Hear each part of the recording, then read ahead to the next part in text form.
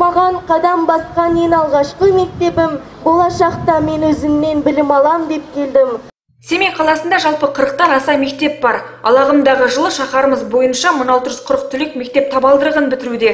Жалпы еліміз бойынша мектеп бітіруші түлектерге жыл сайын маусым айының ортасында аттестат алу рәсімі өткізілуі дәстүрге айналған. Ал биылғы жылы аталған рәсімге үлкен өзгерістер енді. Яғни білім және ғылым министрі Асхат Аймағамбетовтың мәлімдемесі бойынша осы жылы 11-ші сынып бітіруші жас түлектерге аттестат тапсыру және соңғы қоңырау 3 және 4 маусым күндері өтуде нөмірі 42 орта мектептің директоры қанатбек жуанышев түлектерді мектеп бітірумен құттықтап қашықтықтан оқыту жүйесі кезінде ата аналар мен ұстаздардың ерекше шыдамдылығы үшін алғыс білдірді.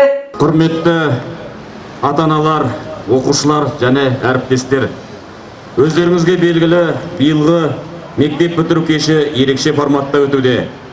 Бүгінгі күн мектеп бітірушілер үшін де ұстаздар мен ата аналар үшін де қуанышты да салтанатты күн. Әлемдік пандемия біздің күнделікті өмірімізді түбегейлі өзгертті. Биылғы оқу жылы қашықтықтан оқу форматына көшумен есте қалары сөзсіз.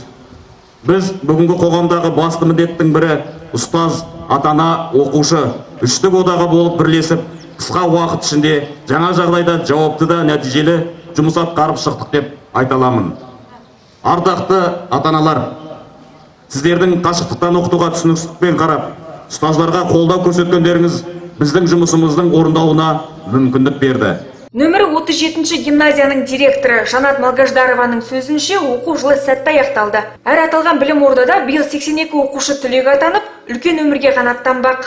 Оқу жылын сәтті аяқтадық. Міне бүгінгі күні 82 оқушы түлек атанып отыр гимназия бойынша 8 алтын белгі егері, 5 үздік аттестат егері және де қалғанда түлектерді бүгін аттестат табыстау рәсімінде салтанатты түрде аттестаттарын табыстап үлкен өмір жолына аттандырып жатырмыз.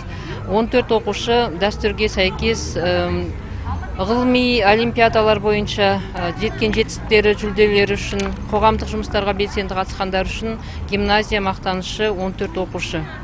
Енді жалпы гимназия бойынша 85 бүтін оннан бес білім сапасын көрсетіп отырмыз.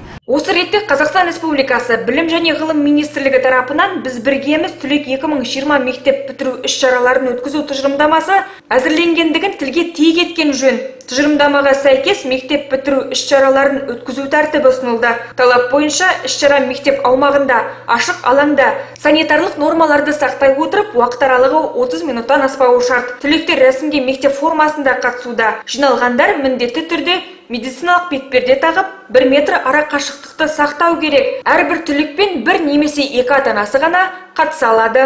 Менің немерем осы қырық екінші мектепте алтын белгіге бітіріп бүгін үлкен қуанышқа бөлеп жатыр ата аналар атынан барлық ұстаздарға алғысымыз шексіз.